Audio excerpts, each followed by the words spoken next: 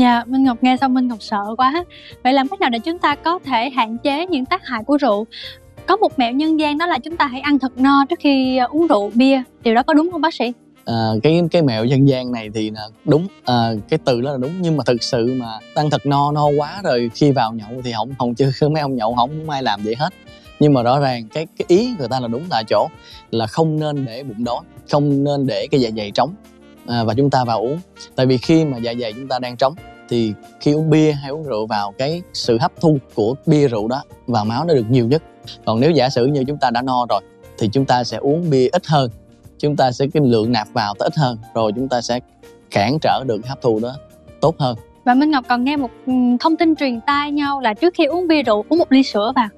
À, thì thực ra cái chuyện mà ăn hay uống trước đó trong thức ăn nó cũng có mỡ thì trong sữa nó cũng có mỡ à, thì nó sẽ dạ. làm cản trở sự hấp thu của rượu bia Dạ, à, nhưng mà những lưu ý nào để mà sau khi chúng ta lỡ uống rượu bia vào rồi sau đó bị mệt mà có thể nhanh chóng để vượt qua tình trạng đó? Thì cái việc mà lỡ uống nhiều rồi thì làm sao cho cái lượng mà cồn, lượng aldehyde mạnh nó được thải ra cơ thể được nhiều nhất, nhanh nhất là chúng ta khỏe nhất.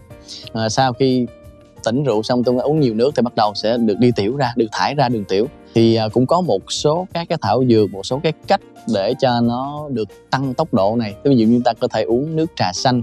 À, nếu mà sau khi mà uống rượu bia nhiều quá sáng hôm sau mà, mà cái, cái người uống nhiều người ta bị à, đau bụng cho nôn ói nhiều thì có thể uống những cái ly nước mà có à, gừng à, có mật ong hay là chúng ta có thể trà xanh để làm cho cái cơ thể phục hồi nhanh hơn và giảm bớt nôn ói lại ta bù nước lại à, thì sẽ giải rượu được nhanh hơn. Ngoài cách ăn no hoặc là uống sữa trước khi uống rượu bia thì chúng ta còn mẹo nào nữa không bác sĩ?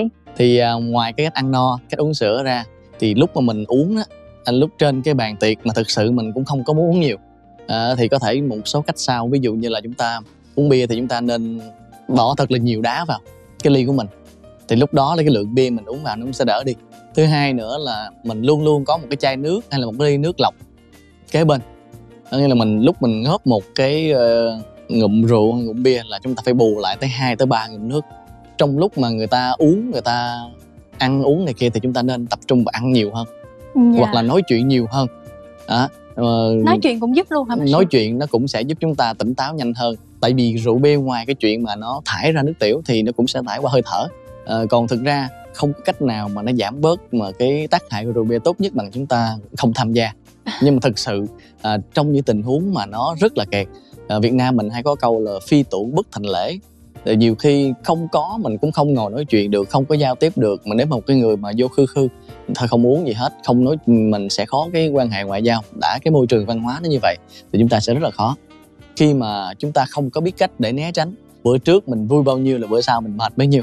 Và Minh Ngọc tin là quý vị khán giả sau khi nghe những lời chia sẻ của thạc sĩ bác sĩ Nguyễn Trân Minh Thế thì cũng đã có cho mình những mẹo để làm giảm bớt uh, khả năng hấp thu rượu bia. Đến đây thì Minh Ngọc xin hẹn gặp lại quý vị khán giả ở khung giờ phát sóng quen thuộc 16 giờ 40 phút thứ hai thứ ba thứ sáu thứ bảy hàng tuần trên kênh truyền hình Vĩnh Long 1 Minh Ngọc và thạc sĩ bác sĩ Nguyễn Trân Minh Thế xin chào và hẹn gặp lại quý vị.